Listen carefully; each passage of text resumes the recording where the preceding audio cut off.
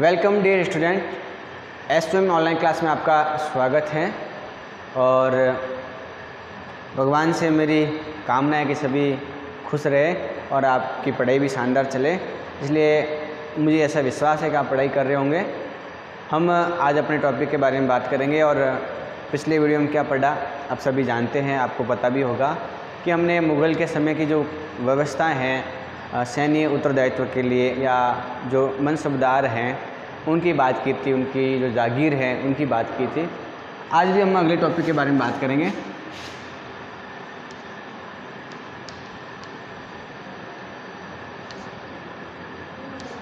Seventh class की बात करेंगे। एसएसटी की। पार्ट संख्या जो हमारा चार था, वो चल रहा था और हम पढ़ रहे थे मुग़ल साम्राज्य।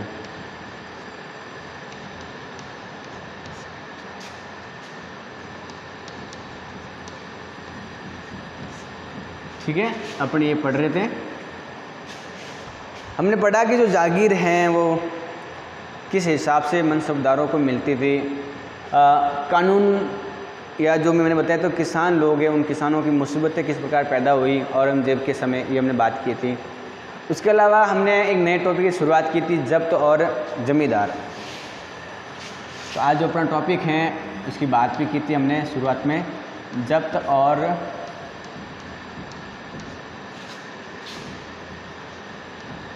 जमींदार। ठीक है? ये बात ध्यान रखनी। है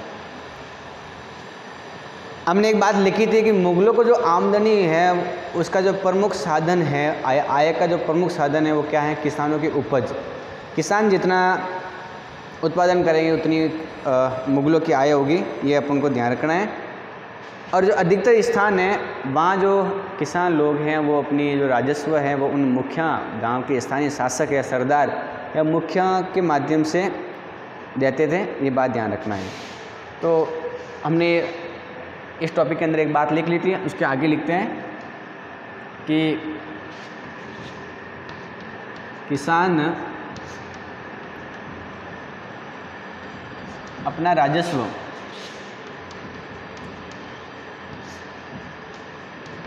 गाँव के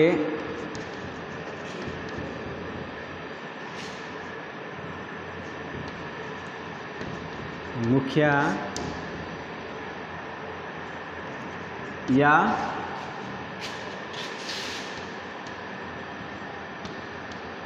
स्थानीय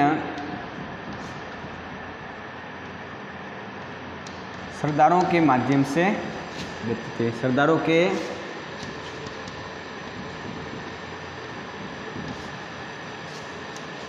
माध्यम से। ठीक है, ये बात समझनी आपको कि दरअसल जो किसान हैं, किसानों से ही तो मुग़लों को विशेष आय का साधन उनको मिलता था। तो किसान अपना राजस्व गाँव के मुखिया या स्थानीय सरदारों के माध्यम से देते थे। ये बात आपको ध्यान में रखनी है। इसके अलावा जो भी उस समय स्थानीय सरदार थे या मुखिया थे जो राजस्व लेने का काम करते थे उस गाँव में तो मुग़ल उनको सामान्य रूप से एक ही शब्द में सबको ज़मींदार कहते थे, ठीक? जो ज़मींदार का प्रयोग करते थे। तो एक बात आपको ये लिखनी है कि स्थानीय सरदार, मुखिया या शक्तिशाली, कोई भी राजा शक्तिशाली सरदार हो, ठीक है? या शक्तिशाली सरदार, स्थानीय सरदार, मुखिया या शक्तिशाली सरदार आदि के लिए मुग़ल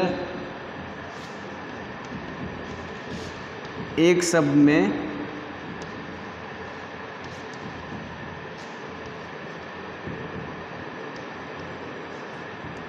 ज़मींदार शब्द का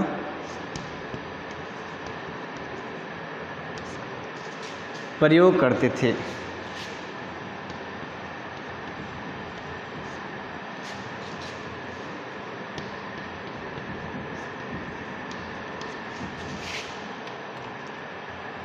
अब ये शब्द आया, जो शब्द आया, ज़मींदार। ज़मींदार क्या होता है? तो ज़मींदार के बारे में आपने सुन लिया होगा या समझ लिया होगा। कि गाँव में जो मुखिया है, जो स्थानीय सरदार है, वो क्या करते थे? वो गाँव के किसानों से राजस्व लेते थे, फिर मुग़लों को देते थे। तो जो मुग़ल हैं, जो उस गाँव क्या करते थे? मुग़ल उस गाँव के जो स्थानीय मुखिया है या सरदार है शक्तिशाली सरदार है, उनसे राजस्व लेते थे और उनको क्या बोलते थे वो? एक ही शब्द में सबको ज़मींदार कहते थे कि ज़मींदार हैं, ये ज़मींदार हैं। तो ज़मींदार का मतलब समझ में आ गया होगा। ठीक है? तो ये बात आपको ध्यान में रखनी है। और लिखना है।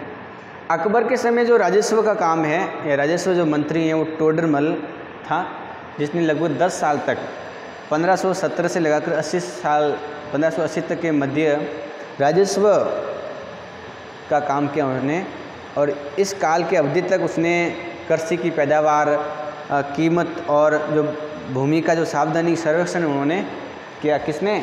अकबर के समय टोडरमल का।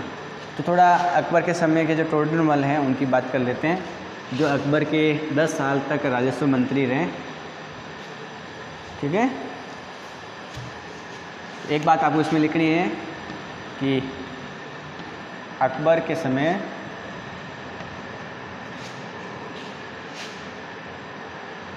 अकबर के समय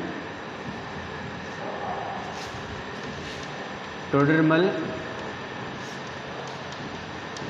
राजस्व मंत्री थे।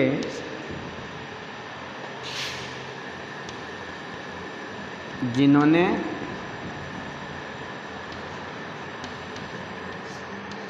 दस वर्ष 1570 से लगाकर 80 तक, दस वर्ष तक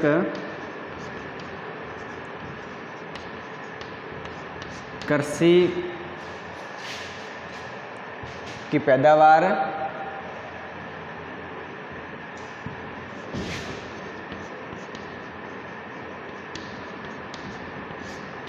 व भूमि का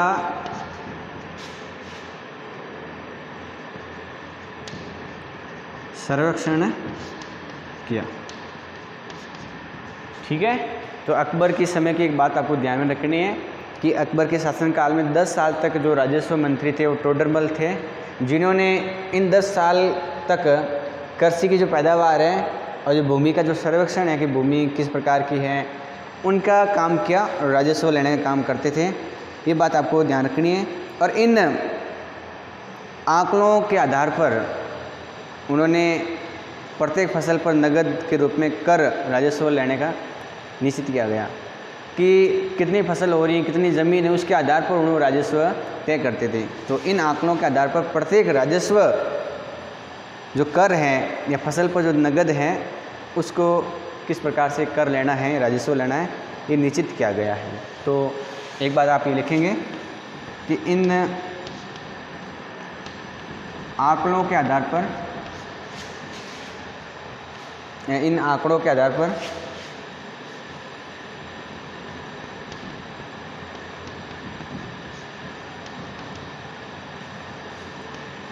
आधार पर कर निश्चित किया गया। ठीक है? तो एक जगह पर कर निश्चित करने की पीछे जो वजह रही होगी कि भी वहाँ भूमि का संरक्षण करना, कृषि की पैदावार कितनी होती है, ये बात आपको ध्यान में रखनी है। और आप ये भी ध्यान रखेंगे कि प्रत्येक सूबे जिसको प्रांत कहते थे, उनको राजस्व मंडलों में बांटा गया। तो प्रत्येक सूबे या प्रांत को राजस्व मंडल में बांटा गया। जो भी सूबे हैं तो प्रत्येक सूबे सूबे या प्रांत को राजस्व मंडल में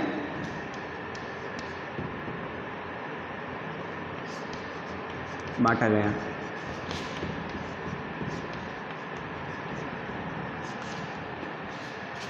जैसे ये दिल्ली है, मान लो, ठीक है? ये दिल्ली मुगलों का प्रमुख केंद्र है। इनके अंडर में बहुत सारे अलग अलग प्रांत हैं अलग अलग रियासतें मान लो, ठीक है? अलग अलग है। भाई, ये प्रांत अलग है, ये प्रांत प्रांत मतलब एक तरह से राज्य मान लो, ठीक है? छोटे छोटे राज्य सब दिल्ली के अंडर में है। यहाँ पर भी मुगलों का अधिकार, सब जगह मुगलों का अधिकार है। तो ये जो राज्य है या जो प्रांत हैं, दरअसल राज्य को ही प्रांत कहते हैं। एक छोटा सा प्रदेश जो राज्य के रूप में। तो वहाँ पर उस प्रांत का जो मुखिया है, या उस प्रांत को दरअसल सूबे भी बोलते थे। प्रांत को क्या बोलते थे? सूबे। और वहाँ का जो व्यक्ति है, मुखिया, वो सूबेदार होता था। तो जो सूबे हैं, या प्रांत है, या राज्य हैं, मैं एक ही शब्द को कह रहा हूँ। भाई, ये जो मुख्य केंद्र है, इसके नीचे अलग अलग क्या है? प्रांत हैं। जैसे भारत स्वतंत्र होने से पहले भारत के अंदर ये जो राजस्थान है, गुजरात, ये सब अलग अलग प्रांत थे। ठीक है? जैसे अपने आज वर्तमान में अगर राजस्थान के प्रांत बोले या राजस्थान ये खुद प्रांत है, भारत का क्या है, प्रांत है या राज्य है या सूबे है? तो ये जो प्रांत या सूबे हैं, इनको राजस्व मंडल के रूप में बांटा गया कि भाई ये मुख्य केंद्र है। गाँवों से राजस्व लेंगे और इकट्ठा करके कहाँ लाएँगे? यहाँ लाएँगे और यहाँ से कहाँ जाएगा? दिल्ली में जाएगा, ये ध्यान रखना है। तो इनको मंडलों में बांटा गया और प्रत्येक की हर फ़सल के लिए राजस्व दर की अलग सूची बनाई हर फ़सल के लिए अलग अलग राजस्व की सूची बनेगी। तो राजस्व मंडल में बांटा गया। एक बात ये ध्यान रखनी है। और प्रत्येक फ़सल के लिए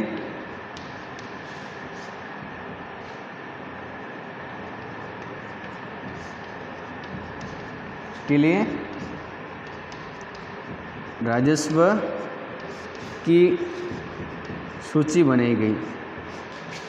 कि भाई इस फ़सल से इतना राजस्व मिलेगा। सूची मतलब लिस्ट बनाई गई बनाई गई। ठीक है? इस बात का कहना मतलब ये हुआ कि भाई इस गाँव से इतना राजस्व मिलेगा, उसकी लिस्ट बना दी कि भाई इस प्रांत से इतना पैसा इस फ़सल से मिलेगा। जैसे मूंग, जैसे मान लो उदाहरण के लिए मूंग से जो राजस्व मिलेगा, इतना मिलेगा, बाजरे से इतना मिलेगा, गेहूँ से इतना मिलेगा मोट से इतना मिलेगा। ऐसे फ़सलों के आधार पर उन्होंने सूची बना दी और उसमें ये लिख दिया गया इतने पैसे मिलेंगे या राजस्व मिलेगा, ये बात आपको ध्यान में रखनी है। और राजस्व प्राप्त करने की इस व्यवस्था को जब्त कहते थे तो ये बात लिखनी है कि राजस्व प्राप्त करने की इस व्यवस्था, ये प्राप्त समझ लगे कौन सी व्यवस्था? आपने तभी तो लिखा है कि व्यवस्था कौन सी है। तो राजस्व प्राप्त करने की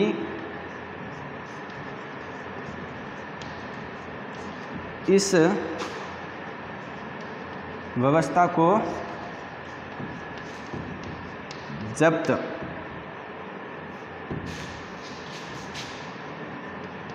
जब्त कहा गया। ठीक है? तो जब्त क्या होता है? जब्त व्यवस्था क्या होती है? जो मैंने आपको भी बताया कि अलग अलग प्रांतों को राजस्व मंडलों में बांट गया। फ़सल के आधार पर उनके क्या किए गए? और उनके राजस्व निश्चित किए गए, उनकी सूची बनाई गई और उनके आधार पर क्या होता था? राजस्व लिया जाता था फ़सलों के आधार पर। ये जो इस प्रकार की जो व्यवस्था है राजस्व लेने की, इसको जब्त कहा गया है।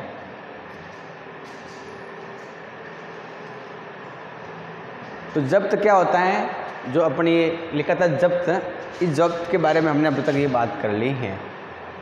अब ये जो फ़सल के राजस्व तय किया है, वो किसके आधार पर? भूमि संरक्षण करके सावधानी वहाँ पैदावार क्या हो रही है उस सारी बातों को देखते हुए हमने इस प्रकार के शब्द का प्रयोग किया है, जब्त की व्यवस्था के बारे में।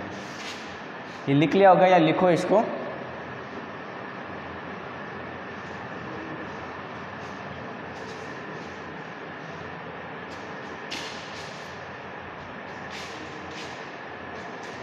ये व्यवस्था उन स्थानों पर प्रचलित थी जहाँ पर मुगल प्रशासनिक अधिकारी भूमि का निरीक्षण कर सकते थे।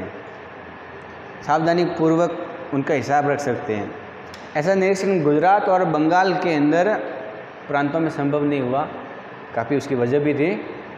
बात समझ में आ रही ना कि जो जब्त व्यवस्था है, ये जब्त व्यवस्था किसकी है? राजस्व वसूलने की व्यवस्था है। तो ये व्यवस्था वहाँ लागू होती थी जहाँ पर मुग़ल राजस्व इकट्ठा करने वाले अधिकारी हैं वो ज़मीन का सावधानी पूर्वक निरीक्षण करते थे, उसका हिसाब किताब रखते थे। तो वहाँ पर लागू होती थी। जहाँ ज़मीन का अता पता ही नहीं है, राजस्व का अता पता ही नहीं है, निरीक्षण नहीं किया जाता था। वहाँ पर तो किस प्रकार से राजस्व लिया जाता था? तो गुजरात और बंगाल ऐसे प्रांत हैं जहाँ पर इस प्रकार की व्यवस्था नहीं थी। तो ये बात ध्यान रखनी है। कुछ क्षेत्रों में जो ज़मींदार इतने शक्तिशाली थे, जमींदार समझ में आ गया ना? जिनको मुगल प्रशासकों द्वारा शोषण किए जाने की स्थिति में विद्रोह कर सकते थे। कभी कभी एक ही जाति के जमींदार और किसान मुगल सत्ता के खिलाफ मिलकर विद्रोह कर देते और सत्रहवीं शताब्दी के आखिर में ऐसे किसान विद्रोह ने मुगल साम्राज्य के स्थायित्व को चुनौती दे दी। अब ये जो जब्त व्यवस्था मेरे हिसाब से बिल्कुल समझ में आ गई होगी। आगे बात लिखनी है आपको कि गुजरात व बंगाल में, या गुजरात व बंगाल प्रांत में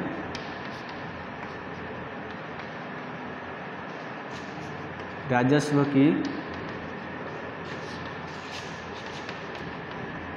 जब्त व्यवस्था नहीं थी।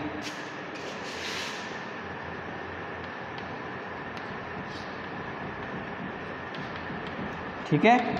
और क्योंकि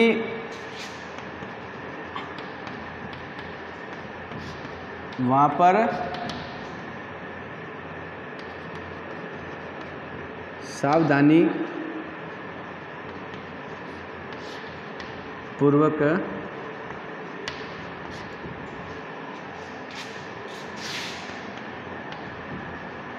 निरीक्षण व हिसाब नहीं रखा। रखा जाता था। ठीक है? तो मेरे हिसाब से ये ऐसे प्रांतों में संभव नहीं था, जहाँ पर इस प्रकार का नहीं था। इसके अलावा कई ऐसे ज़मींदार थे जो शक्तिशाली थे और वो मुग़लों का कभी भी विद्रोह कर सकते थे। और कहीं पर तो ज़मींदार और किसान मिल करके मुग़लों का विद्रोह भी कर देते थे। तो कई लिखना है कि कई स्थानों पर, कई स्थानों पर जो ज़मींदार हैं, कई स्थानों पर ज़मींदार शक्तिशाली होते थे।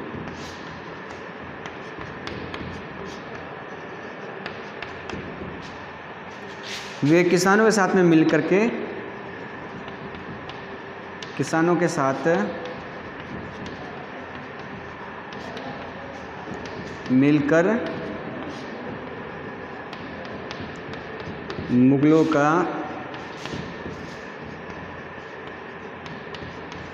विद्रोह कर देते, विद्रोह कर देते थे। भी मुग़लों के अंडर में अलग अलग क्या थे? ज़मींदार थे। ज़मींदार कौन थे? अभी हमने पढ़ा था कि जैसे गाँव है, उस गाँव में जो किसान है, उस किसानों से राजस्व लेने का काम किसका था? उन लोगों का था जो मुखिया हैं वहाँ के, स्थानीय सरदार हैं। तो दरअसल उन स्थानों, स्थानीय जो सरदार हैं, जो मुखिया हैं, उनको क्या बोलते थे मुग़ल ज़मींदार कहते थे। और कहीं पर तो क्या होता है ज़मींदार इतने शक्तिशाली होते थे, क्योंकि भाई राजस्व लेने का काम करते थे, उनके पास खूब सारा धन था। तो इतने शक्तिशाली होते थे कि वो मुग़लों का विद्रोह कर देते, किसानों के साथ में मिल करके इसलिए सत्तरवीं शताब्दी के अंत तक ऐसा हुआ कि मुग़लों की स्थिति खराब होने लगी और काफ़ी जगहों पर किसानों के विद्रोह शुरू हो गए। तो सत्तरवीं शताब्दी, ठीक है, आगे अपन लिखते हैं कि सत्तरवीं शताब्दी के आखिर तक ऐसे अनेक किसान विद्रोह हुए। सत्रहवीं शताब्दी के आखिर में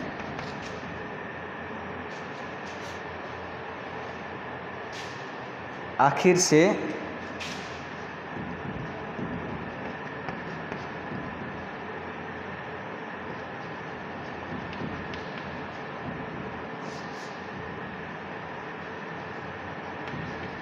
अनेक किसान विद्रोह होने लगे।